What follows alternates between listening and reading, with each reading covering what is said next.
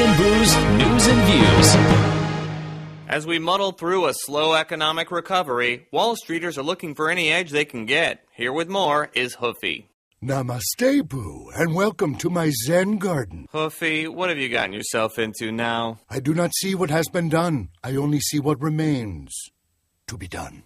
Um, Om, Boo. It's pronounced Om. thank you for the clarification. My pleasure. Anyway, after the stimulus package flopped, I lost faith in the system. But then I found the answer transcendental meditation. Since when'd you go all George Harrison on us? Ever since a TM studio opened up around the corner from the stock exchange. And people buy into this? Well, it's worked for Steve Jobs, with Apple boasting a $175 billion market cap, and there's Bill Ford, chairman of a little outfit that just posted a billion dollar profit called.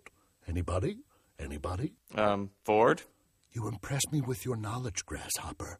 But let the teachers speak. There's a reason why top execs at companies like Google meditate. Because it relaxes them? No, you idiot. Whoa! Because it makes them money. Boo, you ever hear of a little feller named Dattatreya Shiva Baba? I can't say that I have, no. Then allow me to introduce you to the prosperity guru. Now, take a page out of the Good Swami's prayer book and chant your way to wealth.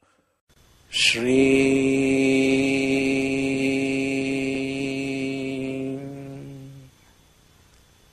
Shri What on earth? Come on, Boo, say it with me.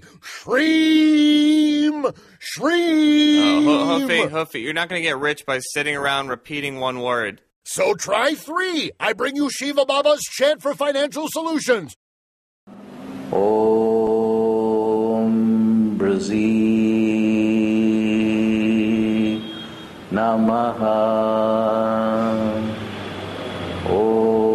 Om Brzee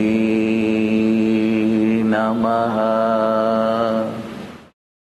needs technical analysis when you've got Om Brzee Namaha? But do you really believe this is going to work? I have no idea, which is why I'm hedging my bets with another spiritualist who takes a slightly more straightforward approach. And I want my money! Now! Oh, Lord, let the money rain upon my soul! Can I get a hallelujah?